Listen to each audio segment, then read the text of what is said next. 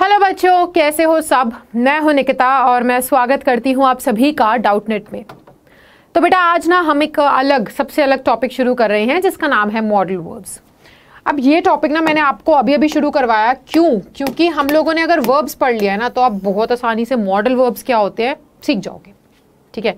आज इसका है लेक्चर नंबर वन एकदम बेसिक से आज हम लोग पढ़ने वाले हैं। ठीक है?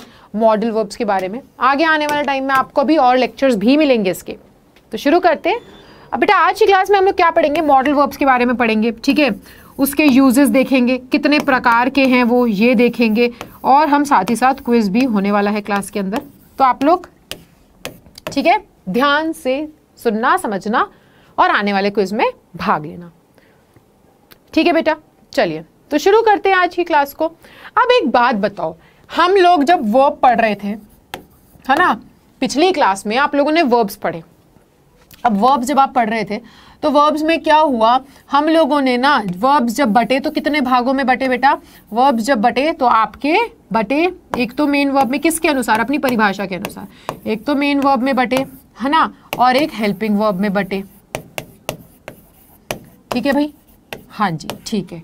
चलो मेन वर्ब आगे जाके दो में बटे, है ना? अपनी ताकत के अनुसार इंट्रांजिटिव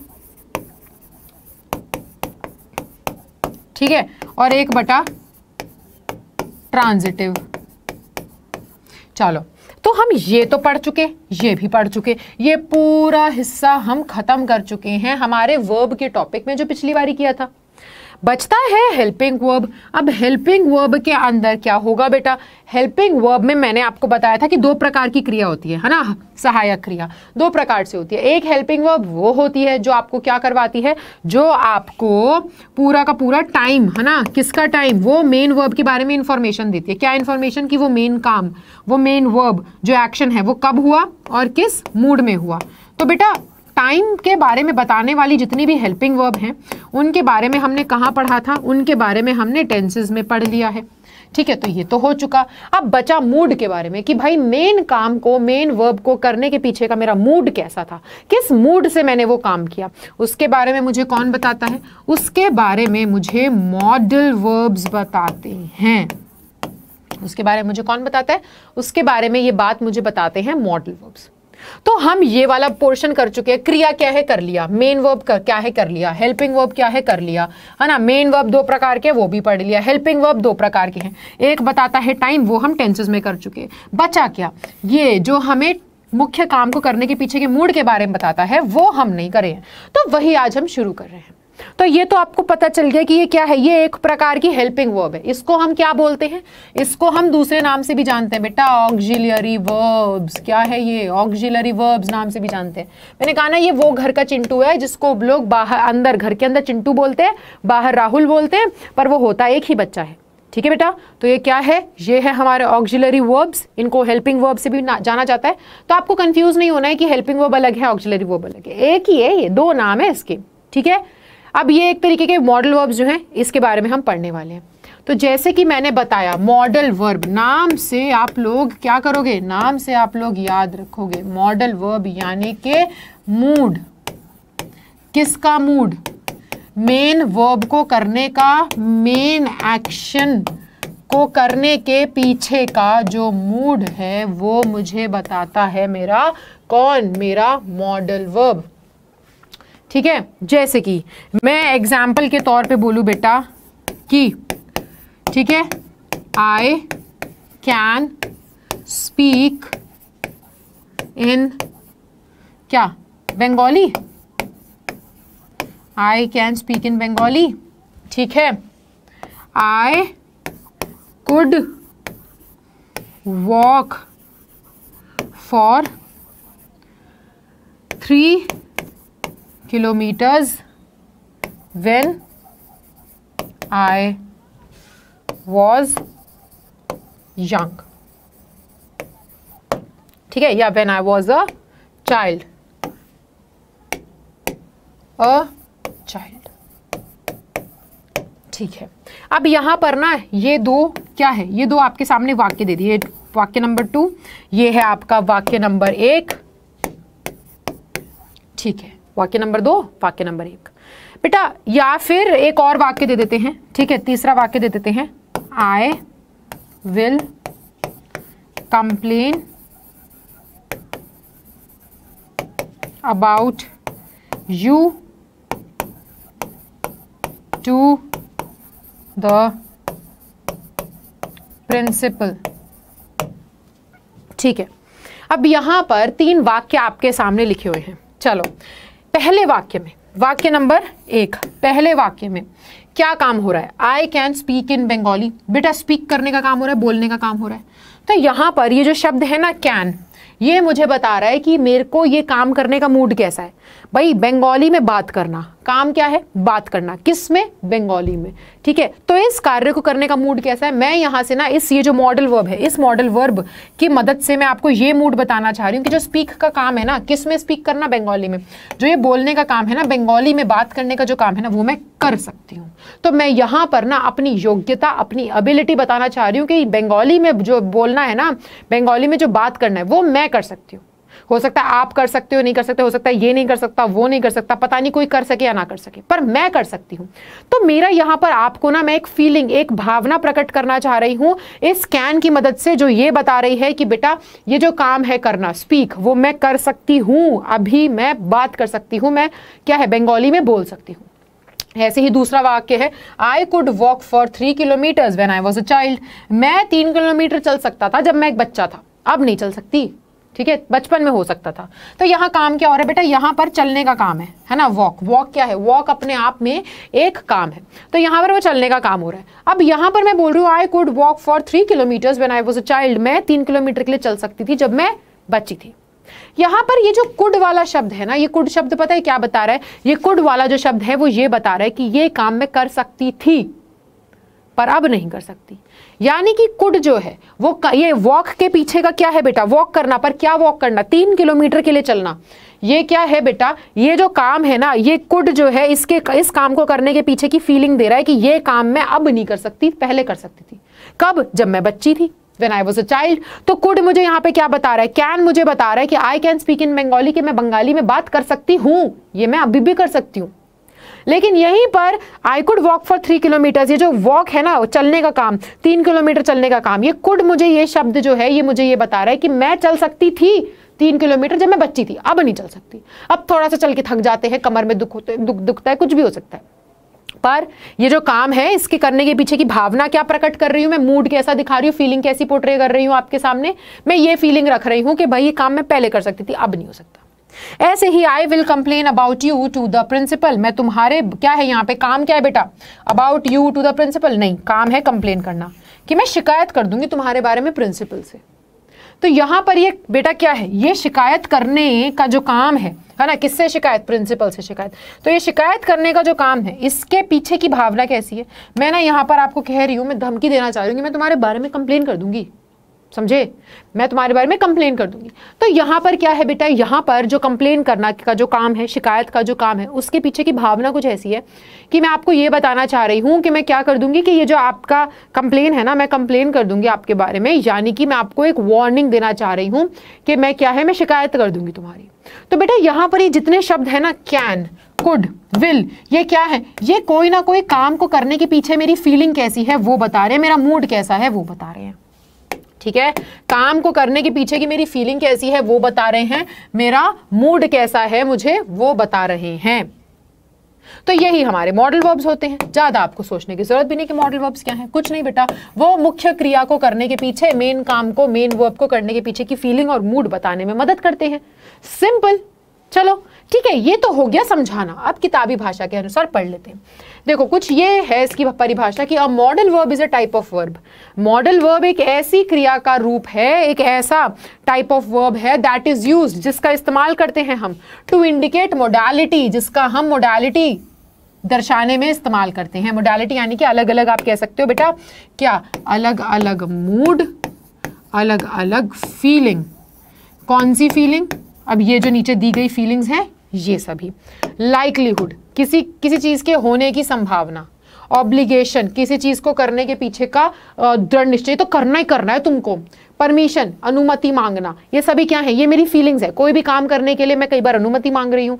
ये फीलिंग मुझे कैसे पता चलती है? किसी मॉडल वर्ब का उपयोग करके।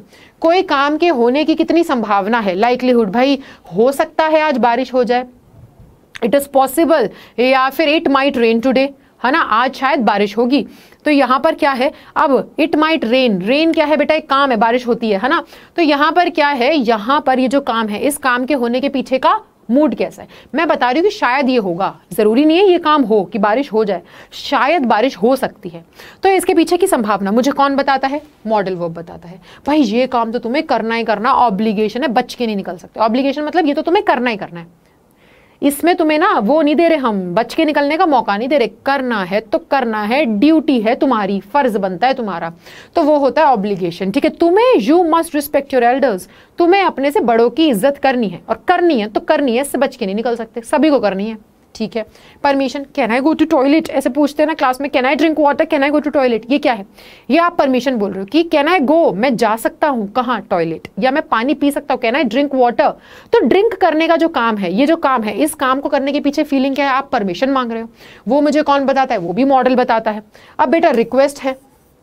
Can you please give me can you please open the door क्या तुम प्लीज़ दरवाज़ा खोल सकते हो? मैं आपसे रिक्वेस्ट कर रही हूँ। ठीक है, कि आपको क्या करना है? ओपन ओपन क्या करना है? दरवाज़ा ओपन करना है। तो ये ओपन करने का जो काम है दरवाजे को, उसके पीछे की फीलिंग क्या है? मैं आपसे बहुत विनम्रता से पूछूँ कि क्या आप प्लीज़ दरवाज़ा ओपन कर सकते हैं? है ना? Can you please open the door तो ये भी मुझे कौन बता रहा है फीलिंग ये फीलिंग भी मुझे मॉडल वर्ब की वजह से पता चल रही है। वैसे ही बेटा कैपेसिटी है ना? कि भाई करने की क्षमता कितनी, है ना? कि भाई मैं ये काम कर सकती हूँ। I can I can eat five rotis. या I can eat two parathas है ना? इन वन सिटिंग मैं एक बारी में दो पराठे खा सकती हूँ। और ये मेरी कैपेसिटी इतना काम तो मैं कर सकती हूँ। है ना? तो खाने का क्या है? खाने के पीछे का फीलिंग कैसी कि मैं ये काम, इतना तो मैं कर सकती हूँ। ठीक है? तो ये क्या है? ये मेरी कैपेसिटी बताने में मॉडल वो हेल्प करता है। वैसे सजेशन यार तुम्हें ना डॉक्टर को दिखा लेना चाहिए। तुम्हारी तबीयत बहुत खराब है। है ना? You look sick you should go and see a doctor तुम बीमार दिख रहे हो, तुम्हें जाके डॉक्टर को दिखा लेना चाहिए। तो बेटा क्या है? यू लुक सिक आप कैसे दिख रहे हो? बीमार दिख रहे हो, ठीक है? You should go and see a doctor आपको जाना चाहिए और डॉक्टर को दिखाना चाहिए। तो गो करने का काम कैसा है? मैं आपको सुझाव दे रही हूँ कि बेटा यू शुड गो आपको चले जाना चाहिए। है ना? जो जाने का काम के पीछे की फीलिंग क्या है कि मैं, मेरी फीलिंग ये है इस काम के पीछे आपको बताने की कि मैं आपको सुझाव दे रही हूँ कि ये काम आपको कर लेना चाहिए। तो उसकी वो वो बताने के लिए मैं किसका इस्तेमाल करूँ मैं मॉडल वर्ब का इस्तेमाल करूँ वैसे बेटा, मैं अगर ऑर्डर देना चाहूँ आपको, ठीक है? वैसे ही अगर मैं आपको ऑर्डर देना चाहूँ तो क्या हो जाएगा? तब भी मैं मॉडल वर्ब का इस्तेमाल करके ही ऑर्डर दूँगी। अगर मैं आपको कोई एडवाइस देना चाहती हूँ, तब भी मैं मॉडल वर्ब एडवाइस सुझाव देना चाहती हूँ तभी मैं मॉडल वर्ब का इस्तेमाल करूँगी और कोई मैं अपनी क्षमता बताना चाहती हूँ। यार मैं तो क्या कर सकती हूँ? आई कैन क्लाइंब माउंटेन मैं क्लाइंब करने का जो काम है क्या क्लाइंब करना है? माउंटेन वो मैं चढ़ सकती हूँ पहाड़ चढ़ सकती हूँ। तो ये मेरी एबिलिटी है मेरी क्षमता है हो सकता है कोई और करना कर सके या ना कर सके मैं तो कर सकती हूँ। तो ये सारी जो का, मुख्य कार्य करने के पीछे की जो फीलिंग्स और जो मूड होता है ना वो बताने में मदद करता है मेरा मॉडल वर्ब ठीक है बेटा? अब इतने सारे मूड होते हैं हमारी ज़िंदगी में, इतने सारी फीलिंग्स होती हैं हमारी ज़िंदगी में तो क्या एक ऐसा शब्द है जो सारी फीलिंग्स बता देगा? नहीं। ऐसे कई सारे शब्द हैं जिनका हम प्रयोग करते हैं और वो अलग अलग अलग अलग हमारे मूड बताते हैं। कैन हो गया मे हो गया, हम ऐसे बोलते ना, ma'am can I come in है ना? May I use your bathroom क्या मैं अंदर आ सकता हूँ? क्या मैं आपका बाथरूम इस्तेमाल कर सकता हूँ? You must respect your elders यहाँ पर क्या बोल रही हूँ मैं कि तुम्हें करना चाहिए रिस्पेक्ट अपने एल्डर्स को। वैसे ही बेटा शैल होता है will could might should would dare ought to ये क्या है बेटा? ये कुछ अलग अलग प्रकार के आपके मॉडल वर्ब्स हैं। ठीक है? ये इससे भी बहुत ज़्यादा होते हैं, लेकिन आपको टेंशन लेने की ज़रूरत नहीं है। ये बहुत सारे होते हैं। और इनका क्या होता है? इनका ना हर एक मॉडल वर्ब का, ये सारे क्या है बेटा? ये मॉडल वर्ब्स हैं। और इन सभी मॉडल वर्ब्स का क्या होता है? इन सभी मॉडल वर्ब्स का एक निर्धारित काम होता है कि अगर कैन है तो कैन ना कोई लिमिटेड फीलिंग्स बता रहा होगा, मुख्य काम करने की। शुड है तो शुड कोई लिमिटेड फीलिंग्स बता रहा होगा मुख्य काम करने की। वैसे ही मे है तो मे कोई दूसरी फीलिंग्स बता रहा होगा मुख्य काम करने की। तो इन सबको ना दे रखा है कि कैन ये दी गई भावना प्रकट करेगा? मे का इस्तेमाल करके मैं ये काम को करने के पीछे की ये दी गई भावनाएँ प्रकट करेंगे। है ना, डेयर का इस्तेमाल करने के लिए मैं क्या करूँगी? डेयर डेयर शब्द का इस्तेमाल करके मैं क्या करूँगी? डेयर शब्द का इस्तेमाल करके मैं कुछ दी गई फीलिंग्स एक्सप्रेस करूँगी, भावना प्रकट करूँगी। तो मॉडल वर्ब का आप देखो, आप इतना समझ लो बस केवल कि मॉडल वर्ब क्या है? मॉडल वर्ब मुख्य कार्य को मॉडल वर्ब वो क्रिया है जो मुझे बताती है कि मुख्य कार्य करने के पीछे की फीलिंग या मूड कैसा था। मॉडल वर्ब बहुत सारी होती है। ठीक है? और ये सभी अलग अलग कोई ना कोई फीलिंग बता रहे होते हैं, कोई ना कोई मूड बता रहे होते हैं। ठीक है? मुख्य कार्य को करने के पीछे का। अब, क्या आपको ये सारे पढ़ने हैं? क्या मैम इतने सारे पढ़ने पड़ेंगे? नहीं बेटा, आपको टेंशन लेने की ज़रूरत नहीं है। आपके सिलेबस में आपको केवल जो मैं हाईलाइट कर रही हूँ, आपको केवल इस्तेमाल पढ़ना है मस्ट का।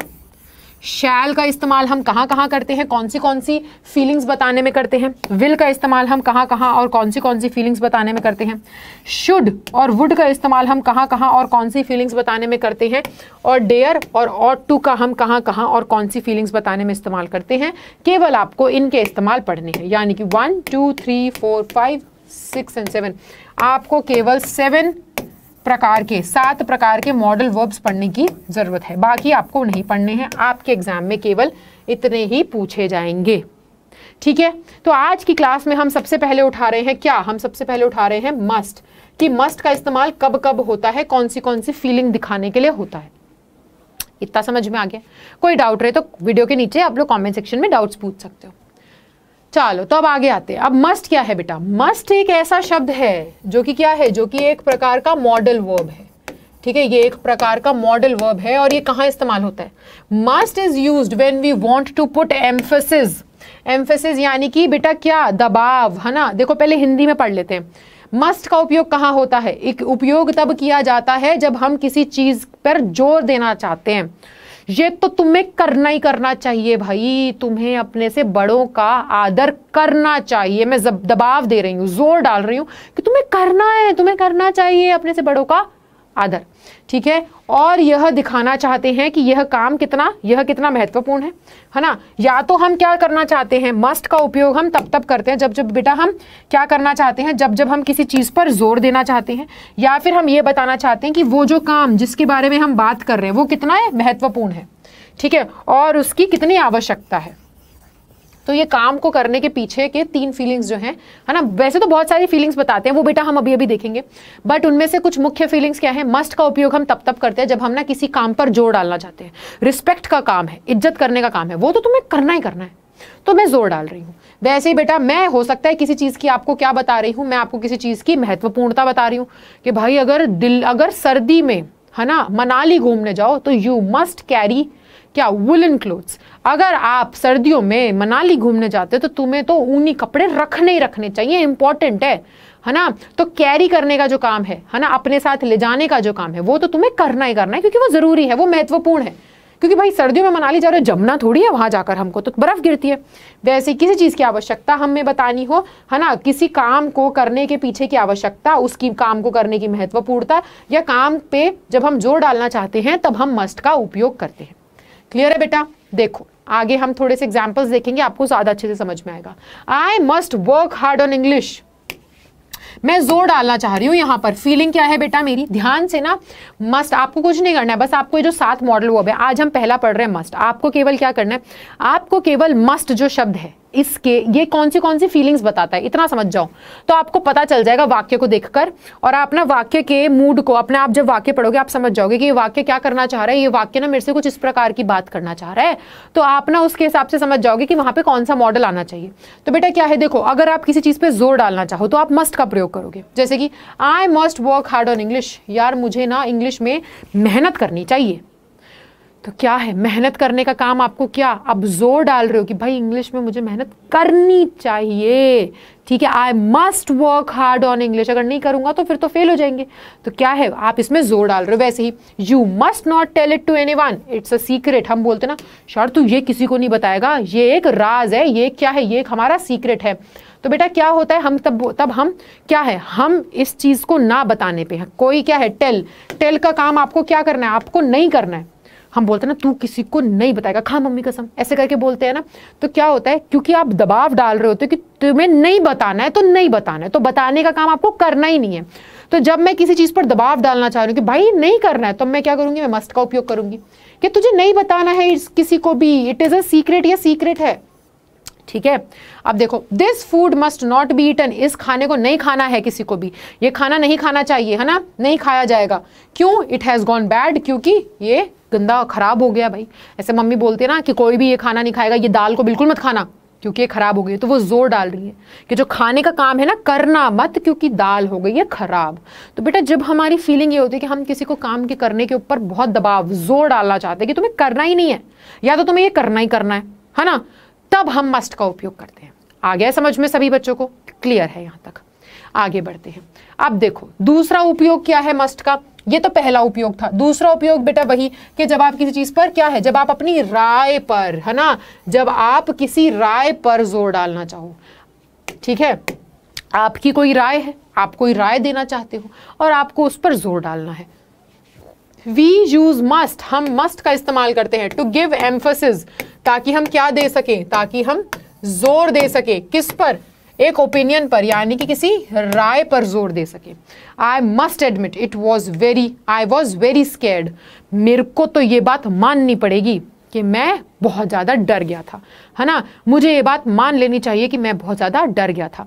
तो बेटा, क्या है? आप अपनी इस राय पर ज़ोर देना चाह रहे हो कि भाई, मैं डर गया था। है ना? मैं डर गया था, इस बात पे आप ज़ोर देना चाह रहे हो तो आपने बोला आई मस्ट एडमिट मुझे मान लेना चाहिए कि मैं डर तो गया था, ठीक है? आई वॉज़ वेरी स्कैर्ड में बहुत ज़्यादा डर गया था। तो आप अपनी इस राय पर, आपका ये मानना है कि आप क्या हो गए थे? आपने डर गए थे। आप इस पर ज़ोर देना चाह रहे हो। वैसे ही I must say this food is delicious भाई, बात तो माननी पड़ेगी। खाना तो बड़ा ही स्वादिष्ट है है ना? मानना तो पड़ेगा, खाना तो बड़ा ही स्वादिष्ट है। तो आपका ये राय क्या है? आपने खाना खाया और आपको खाना खा के समझ में आया कि खाना तो बहुत स्वादिष्ट है। है ना? वेरी डिलीशियस है। तो आपकी ये राय है। अब आप क्या कह रहे हो? आप इस राय पे ज़ोर डालना चाह रहे हो कि भाई मेरी जो राय है ना, वो तो मतलब माननी पड़ेगी, है ना? तो क्या है तो आप जब अपनी राय के ऊपर दबाव डालना चाह रहे हो, ज़ोर डालना चाह रहे हो तो आप क्या बोलोगे? आप मस्ट का इस्तेमाल करोगे कि यू आई मस्ट से ये तो मुझे कहना पड़ेगा कि खाना तो बहुत स्वादिष्ट है। तो आपकी राय में खाना बहुत स्वादिष्ट है। इस बात पे आप, बेटा ज़ोर डालना चाह रहे हो तो आप मस्ट का उपयोग करते हो। क्लियर है सभी को यहाँ तक? चलो, तीसरा इस्तेमाल क्या है मस्ट का? जब आप बेटा, must is use to recommend something to someone, सुझाव। जब आप किसी को कोई सुझाव देना चाहते हो कि ये कर ले, जब आप किसी को किसी चीज़ का सुझाव देना चाहते हो कि ये कर ले, तब आप मस्ट का उपयोग करते हो। देखो you must come and visit us while you are in London ऐसे हम जब किसी रिश्तेदार के घर जाते हैं तो हम बोलते हैं ना, वो रिश्तेदार हमसे कि अरे अरे, अगर आप अगली बार दिल्ली आए तो हमारे घर तो आपको आना ही पड़ेगा, है ना? या आना तो चाहिए। ठीक है? तो आप क्या है बेटा, आप ना अपने रिश्तेदार को, ऐसे कई घर पे होता है ना, कई बार ऐसे चाचा चाची मिलने आ जाते हैं तो मम्मी क्या बोलती है कि, अरे भाभी, आप इस बार आए, आप क्या करना, आप अगली बार यहाँ आओगे ना तो आपको हमारे यहाँ आना ही आना है। ऐसे करके बोल के आती ना। तो जब हम क्या है बेटा, जब हम किसी को कोई सुझाव देना चाहते हैं, हम किसी को कुछ रिकमेंड करना चाहते हैं कि ये तो आपको करना ही है है ना, ये तो आप कर ही लेना, तब हम मस्ट का उपयोग करते हैं। तो अगर मैं यहाँ पर बोल रही हूँ कि you must come and visit us, तुम्हें हमसे आकर मिलना चाहिए। जब भी तुम अगली बार लंदन आओ तो कह हैं, जब भी अगली बार लंदन आओ ना, हमसे आकर मिल लेना चाहिए तुमको एक बार। वैसे ही you must go and see that film अब हम कोई पिक्चर देख कर आए। पिक्चर थी एकदम बढ़िया, लाजवाब, बेहतरीन पिक्चर और अब हम सबको बताना चाहते हैं कि यार, वो पिक्चर कितनी अच्छी थी। तो हम क्या करेंगे बेटा? तब हम जाकर दूसरों को बोलते हैं ना कि, यार, तुझे ना वो पिक्चर देख कर आनी बड़ी अच्छी थी यार। बहुत मज़े आए उस पिक्चर में। तो आप क्या दे रहे हो? दूसरे को भी सुझाव दे रहे हो कि ये काम करके आ। है ना?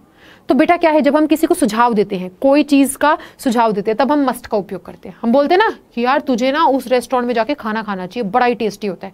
तो you must go and eat in that restaurant है ना? In that restaurant because the food is very delicious ठीक है, उनका जो खाना है वो बड़ा ही अच्छा होता है। तो यहाँ पर क्या बोल रहे हैं, हम एक सुझाव दे रहे हैं कि भाई, आपको ना वहाँ जाके खाना खाना चाहिए, वहाँ बड़ा ही टेस्टी खाना है है ना? तो तुम्हें ना ये पिक्चर देखनी चाहिए, भाई, बढ़िया पिक्चर है। तो you must see this film it's a good film तो ऐसे करके हम क्या करते हैं बेटा? ऐसे करके जब हम किसी को सुझाव देते हैं तो हम मस्ट का उपयोग करते हैं, ठीक है? अच्छा अगर मैं किसी को बोलना चाहूँ कि यार, तुझे ना पढ़ाई कर लेनी चाहिए, अगर तुझे पास होना है। तो मैं क्या बोलूँगी you must study if you want to क्या है if you want to pass your exam तो यहाँ पर मैं क्या सुझाव दे रही हूँ कि बेटा, अगर आपको पास करना है अपना एग्ज़ाम तो आपको पढ़ाई कर लेनी चाहिए, है ना? तो मैं तब भी मस्ट का उपयोग कर सकती हूँ। तो मैं क्या कर रही हूँ, मैं आपको सुझाव दे रही हूँ। वैसे ही चौथा उपयोग क्या है बेटा must is use to make an assumption है ना? जब हम क्या करते हैं, जब हम अंदाज़ा लगाते हैं, है ना? अंदाज़ा जा। जब हम कोई बेटा किसी चीज़ का जब हम कोई अंदाज़ा लगाते हैं, तब हम मस्ट का उपयोग करते हैं। और अधिकतर ये वो अंदाज़ा है जो हम मानते हैं कि भाई ये कम से कम अस्सी प्रतिशत सच तो होगा ही होगा। हम ऐसा अंदाज़ा लगाते हैं जिसको हम ये मान के चलते हैं कि ऐसा तो होगा ही होगा। छोटा मोटा अंदाज़ा नहीं, जिसके होने के चांसेस बहुत कम हैं। ऐसा अंदाज़ा लगाना जिसका तुम्हें पता है कि ये तो ना ये सच होएगा ही होएगा। है ना, उस चीज़ का अंदाज़ा लगाओ। अब आपको पता है कि जो बारिश है ना, काले बादल आ चुके हैं। हर तरफ़ आसमान में क्या है? हर तरफ़ आसमान में वो दिख गई है, मुझे काले बादल आ चुके हैं। तो मुझे पता चल रहा है कि अब बारिश होगी होगी, और बारिश के होने की संभावना बहुत ज़्यादा है। है ना? और मैं अंदाज़ा लगा रही हूँ, क्योंकि अभी हुई नहीं है, मैं बोल रही हूँ कि यार, मेरे को लगता है बारिश हो जाएगी, क्योंकि और इस चीज़ के होने के चांसेस भी ज़्यादा है। तब मैं मस्ट का प्रयोग करूँगी। देखो, एक एग्ज़ाम्पल देखो। You must be so tired after running that marathon marathon क्या होता है? ये दस दस पचास पचास किलोमीटर लंबी जो दौड़ होती है। तो अब क्या है? अब हम बोल रहे हैं, यार, तुम थक गए होगे, है ना? इतनी लंबी दौड़ में दौड़ने के बाद। तो यहाँ पर बेटा क्या है? मैंने मस्ट का किया उपयोग। क्यों? क्योंकि मैं अंदाज़ा लगा रही हूँ कि ये व्यक्ति थक गया होगा इतना लंबा दौड़ने के बाद। पर ये सत्य भी है और ये अधिकतर क्या है? ये ऑलमोस्ट सच ही है। मैं, उसने मुझे बताया नहीं है कि वो थक गया है, पर मुझे ज़ाहिर सी बात है, इतना लंबा जब दौड़ के आया तो कोई भी इंसान थक जाएगा। तो मुझे पता है कि उसके थकने की संभावना ऑलमोस्ट है। पर फिर भी मैं बोल रही हूँ कि भाई तुम थक गए होगे ना, इतना ज़्यादा लंबा सफ़र करके आए हो, इतना ज़्यादा दौड़ के आए हो। तो वो भी क्या बोलेगा? वो भी बोलेगा हाँ थक गया हूँ, क्योंकि ऑब्वियस सी बात है, वो थक गया, सबको पता है, पर फिर भी हम अंदाज़ा लगा रहे हैं। ठीक है बेटा? तो जब हम किसी चीज़ के, ऐसी किसी चीज़ का अंदाज़ा लगाते हैं, जिसका होना है ही, ठीक है? जिसका होना के सबसे ज़्यादा चांसेस हैं। आप उसका जब अंदाज़ा लगाओ, तब आप मस्ट का उपयोग करते हो। दोबारा से समझना बेटा, आप किसी ऐसी चीज़ का अंदाज़ा लगाते हो, किसी ऐसे काम का अंदाज़ा लगाते हो, जिसका होने का चांस सबसे ज़्यादा है 80 प्रतिशत है कि वो काम हो ही जाएगा। ऐसे काम के होने का जब आप अंदाज़ा लगाते हो, तब आप मस्ट का प्रयोग करते हो। ज़ाहिर सी बात है 50 किलोमीटर दौड़ के आएगा तो थकेगा ही। है ना? है ना? तो ज़ाहिर सी बात है, वो थकेगा ही। तो हम उस चीज़ का अंदाज़ा लगाते तो हम क्या बोलेंगे कि यार, तुम थक गए होगे ना, इतना लंबा दौड़ के आए हो। हाँ वो थक गया है, वो अभी खुद बता देगा, वो थक गया पर आप अभी अंदाज़ा लगा रहे हो तो आपने मस्ट का प्रयोग किया। My cycle has disappeared someone must have stolen it है ना? मेरी जो साइकिल थी, घर में रखी थी, वो यहाँ से गायब हो गई है। अब ज़ाहिर सी बात है मुझे पता चल रहा है और लगभग यही सच है। अभी मैं पता करूँगी तो हो सकता है वो जो साइकिल है वो चोरी हो गई तो मैं इसके चोरी होने का अंदाज़ा लगा रही हूँ। और जहाँ तक है, मुझे लग रहा है कि पक्का पक्का चोरी ही हुई है। तो जो मैं, जिस चीज़ का मैं अंदाज़ा लगा रही हूँ, उस चीज़ के अंदाज़ा लगाने का, सत्य होने का जो चांस है, बहुत हाई है। तब हम मस्ट का उपयोग करेंगे। अब मैंने क्या लिखा है? मैंने बोला माई साइकिल हैज़ डिसअपियर्ड मेरी जो बाईसाइकिल है, जो मेरी साइकिल है, वो गायब हो गई है। Someone must have stolen it किसी ने उसको चोरी कर लिया होगा। तो बेटा क्या है? मैं अंदाज़ा लगा रही हूँ कि किसी ने उसको चोरी कर लिया होगा, लेकिन इस अंदाजे के सच होने के चांसेस बहुत ज़्यादा हैं। तो जब आप एक ऐसा अंदाज़ा लगाओ जिसके सच होने के चांसेस बहुत ज़्यादा हो तो आप मस्ट का प्रयोग करोगे। समझ में आ गया? क्लियर है? ऐसा अंदाज़ा लगाएँ जिसके सच होने के बहुत चांसेस हैं मस्ट का प्रयोग होगा। चलिए क्वेश्चन अब जो आपका पॉइंट नंबर फाइव है, जहाँ पे पांचवा उपयोग जो है मस्ट का वो ये है कि मस्ट तब इस्तेमाल होता है जब हम किसी चीज़ का कंपल्शन कि भाई कंपलसरी है ये काम करना। कंपलसरी ठीक है? जब हम ये बताते हैं कि भाई ये काम करना तो आपके लिए क्या है? करना है ही है। ये काम करना आपके लिए क्या बन चुका है बेटा? ये आपको कंपल्शन हम बोलेंगे, हिंदी में हम कैसे बोलेंगे? हम इस चीज़ को बोलेंगे कि भाई तुम ना इससे निकल नहीं सकते। करना है तो करना है। ठीक है? तो कंपल्शन यानी कि करना है। है। तो करना है।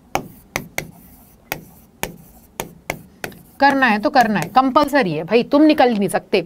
तो क्या हम बोल रहे हैं if you are visiting London a good map is must है ना? तो मैं क्या बोल रही हूँ कि अगर तुम लंदन जा रहे हो तो एक अच्छा मैप होना ज़रूरी है। और ज़रूरी है तो ज़रूरी है, क्योंकि ऐसे तो तुम नहीं घूम पाओगे। वैसे ही मैंने क्या कहा if you are going to Kashmir then you must carry woollen clothes तो अगर तुम कश्मीर जा रहे हो, फिर तो ये काम तो तुम्हें करना ही करना है कि you must carry woollen clothes है ना? तो आपको क्या करना है? आपको वुलन क्लोथ्स कैरी करने ही करने हैं। अगर आप कश्मीर जा रहे हो, वहाँ ठंड होगी, ज़ाहिर सी बात है बर्फ़ गिरी होगी। अगर वो नहीं लेकर गए तो फिर आप तो वहाँ पे जम जाओगे। तो ये काम क्या है? ये काम तो कंपलसरी है। आपको कैरी करने ही करना है। आपको लेकर जाना ही जाना है। तो ले जाने का जो काम है, क्या ले जाना? ऊनी कपड़े ले जाने का जो काम है, वो तो करना ही करना है। उसमें तुम बच नहीं सकते। करना है तो करना है है ना? वरना तो फिर आप वहाँ पे जम जाओगे। सीधी सी बात है। तो मस्ट ये सभी पाँच जो है चीज़ें, पाँच फीलिंग्स हमें बताता है। ठीक है बेटा? आ गया सभी को समझ में इतना। तो जल्दी से अब हम लोग क्या करेंगे? अब हम लोग आ जाएँगे हमारे क्विज पर और करेंगे आप लोगों की नॉलेज टेस्ट चलो तो ये है आपका question number one and question number one ये रहा स्क्रीन पर। Children dash not run in corridors आप लोगों ने देखा है कि हम लोग स्कूल में बोलते हैं ना कि भाई अपने स्कूल के आँगन में या कॉरिडोर में भागना नहीं है। तो वहाँ पे क्या बोलेंगे? मस्ट कैन शुड या none children must not run in the corridors should not या फिर कैन नॉट ठीक है? चलो, अगला question I must say you look really well मुझे तो कहना पड़ेगा यार। आप बहुत ही सुंदर लग रहे हो, आप बहुत ही अच्छे दिख रहे हो। यहाँ पर बेटा what is the feeling behind this sentence इस सेंटेंस के पीछे की फीलिंग क्या है? मैं अपनी राय दे रही हूँ, या फिर मैं एक सुझाव दे रही हूँ, या मैं किसी चीज़ के होने की संभावना? क्या बता रही हूँ? किसी चीज़ के होने की पीछे की संभावना बता रही हूँ। क्या बता रही हूँ? या फिर नन इनमें से कोई सा भी सही ऑप्शन है ही बताओ। ठीक है? चलो।